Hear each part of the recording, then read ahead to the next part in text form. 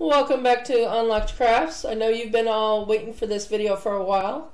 I have finally completed the rice mosaic that we started. Tools that you will need are as of follows. You're going to need a rag, glue. I use Elmer's glue all, multi-purpose glue, not school glue. You're going to need colored rice, which I have a video of how to color your rice. Tweezers, which you'll see me using a lot in the video. I have a splicer tool by Klein Tools, but you can also use a sharp knife for the same purpose.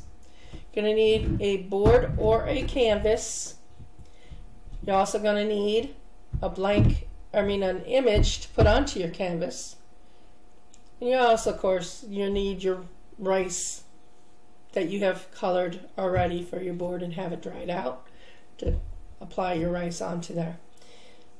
By the way, just so you know, it has to be uncooked rice. It cannot be like minute rice, cannot be Uncle Ben's or any of that. It has to be uncooked rice. I've never bought the brown rice, but I'm sure you can use it if you wish. And I want to say thank you ahead of time because this is quite a long video for staying tuned.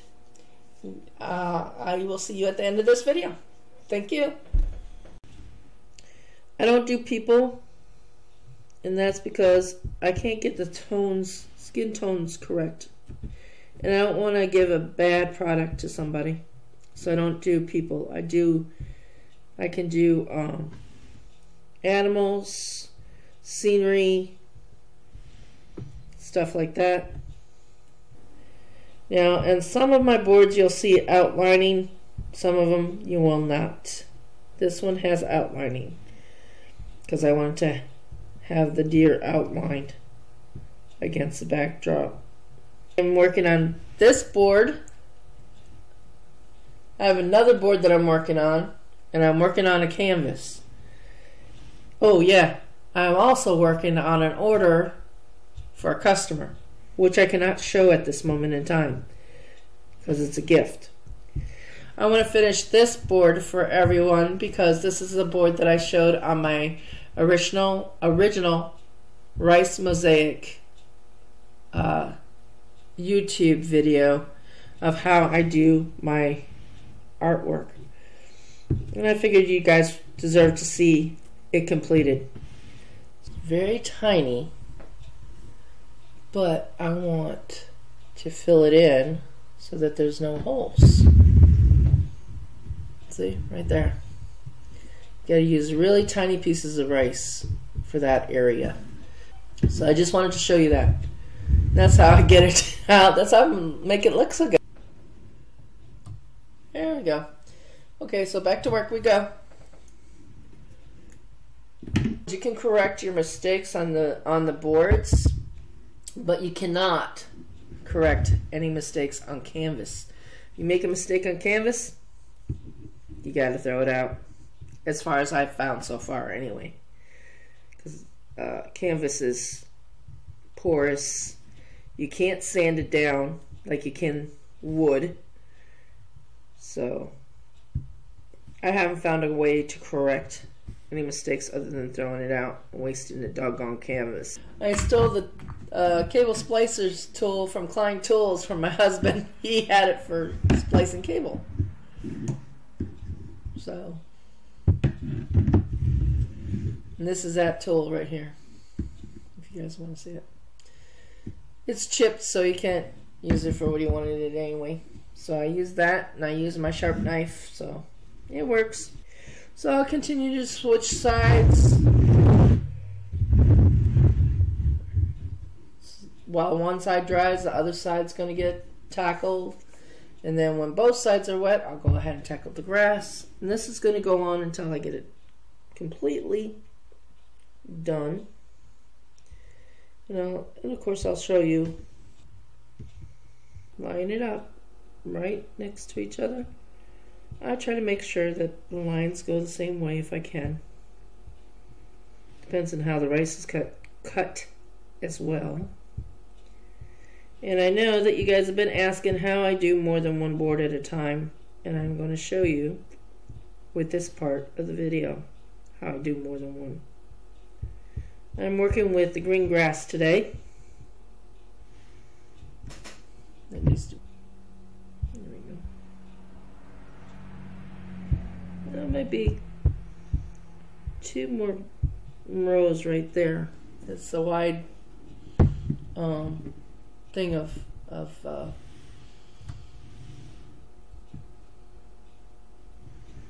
glue for us.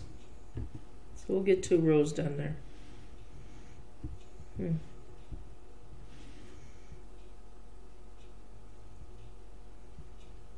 There we go. See, there we go. Finish that row. When the rice starts moving around way too much for um, the section that you're working on, you can either switch switch sections of where you're working so you don't mess up the rice that's wet or you can switch boards and that's how I go back and forth between the two. So there's your answer Joe. Let's see that's there we go need all the same supplies the tweezers the glue the rice the board the rag. The rag is for wiping off your tweezers when it gets glue encrusted. And once in a while depends on your rag there'll be little fuzzies on it so you want to scrape them off. And here we're working on this one now well that one dries a little bit. And that's how you switch between boards. Now this one happens to be canvas. The glue sticks as well to this one as it does to the boards. This one however if you make a mistake you cannot correct it as far as I have found. This is only my second canvas so I'm sure that there might be a way, but I'm not 100% positive because I'm um, don't I know you can't sand it. I know that for a fact because it'll run the canvas. A little spot. I'm going to fill that in with small pieces of rice. And of course, I just flicked it over there, so not to worry about it too much. You can either do this as you're laying your rice, or you can come back and look at your project and say, oh, this is a little hole, I got to fill it in with this color. I do it this way, but I also when I'm completely done, I will look over my my board or my canvas and say, hmm, I missed a spot here. And then I'll fix it. Like right here. Get out of the way. There's a spot that's missing. So I'm going to put a little bit of glue in there. And find a small bit of rice.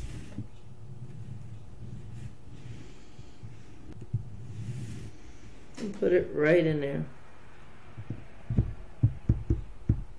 And there we go. It's filled.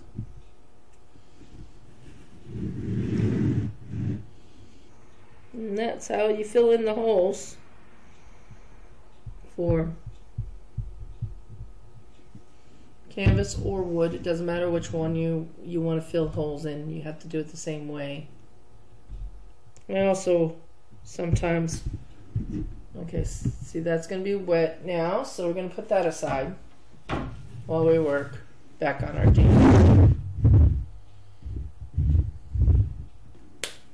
I'm going to be working with three color, three, four colors today. The uh, I'm going to work with this here color, which is a grass color. Ah, let's show you. There we go. I'm going to work with the lime color Today, I'm going to work with the sky color today as well. Let's move those up for us.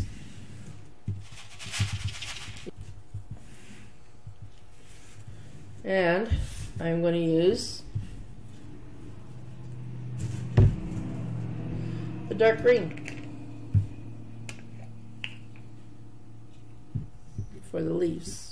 And I still have to fill in some leaves. So those are the four colors I'm going to be working with today. Because right now I'm working on the grass.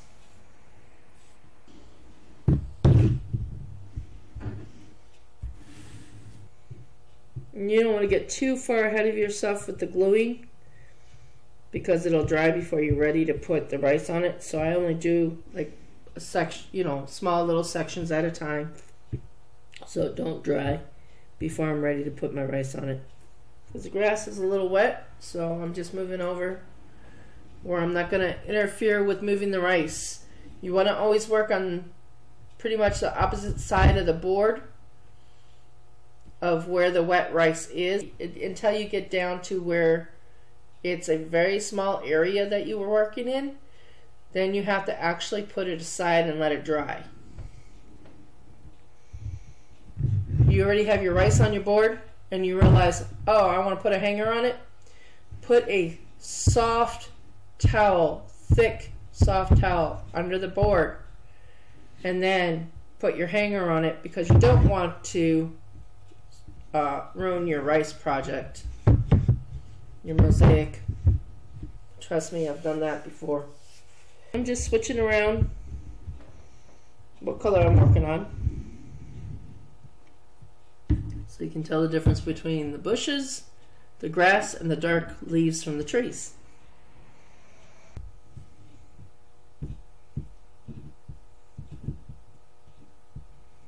So you want I, I want some small pieces to fill in this hole that I have here. So I'm going to cut a piece of rice with my splicer tool. You can use a sharp knife or whatever you have. As long as it's as long as it'll cut the rice, it'll be fine.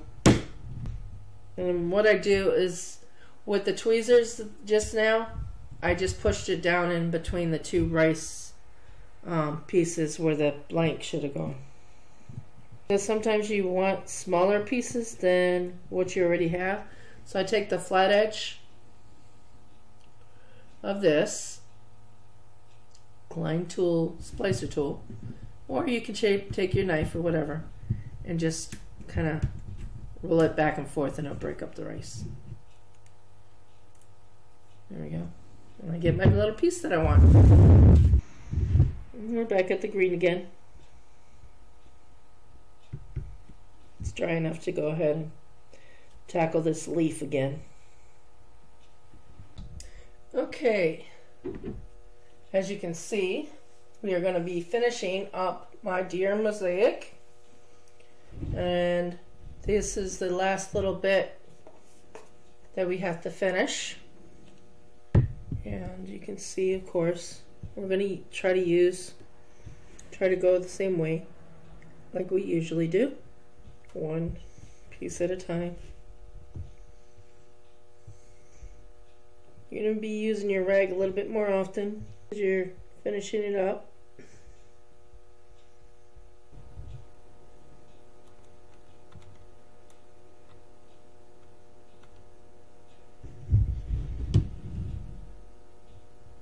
As you can see there's a little bit of gaps right in there where I will be using my Klein tool splicer knife to cut my rice.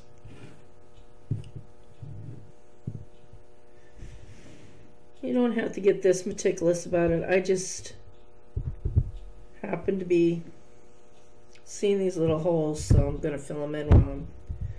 I like to make sure all my gaps are filled in as much as possible completely done. Thank you for staying tuned to this project. I know it was a long one for you guys.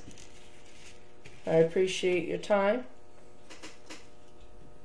And we're going to do a sideways motion and up and down motion for the first coat.